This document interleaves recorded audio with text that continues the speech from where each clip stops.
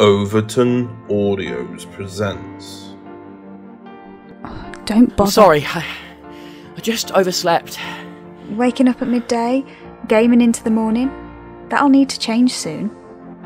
When you're living in Brighton, you'll be sharing a flat with her. That means responsibility, not just for your coursework, but for your life too.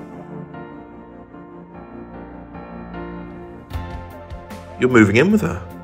It's not just that. We're meant to be good friends. Who who am I going to hang out with? This is exactly why I didn't want to say Well, anything. maybe you shouldn't have. I am so sorry for your loss.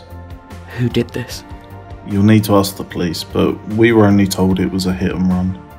Jazz and I thought we would take him out for a meal, you know, treat him or something. He's just lost his girlfriend, Peter. His own mother won't do anything. He's suffering and he needs someone to talk to.